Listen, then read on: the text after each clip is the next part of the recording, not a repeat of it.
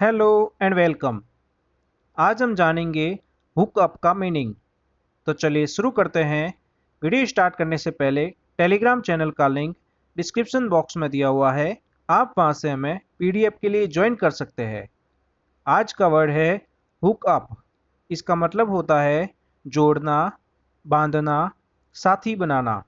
और कनेक्ट और लिंक और to become associated especially in working social और सेक्सुअल रिलेशनशिप चलिए इसकी यूजेस देख लेते हैं। हाउ दैट और couple ever hooked up we will never know यानी, कैसे वह अजीब जोड़ा मिला, हम कभी नहीं जान पाएँगे। Thank you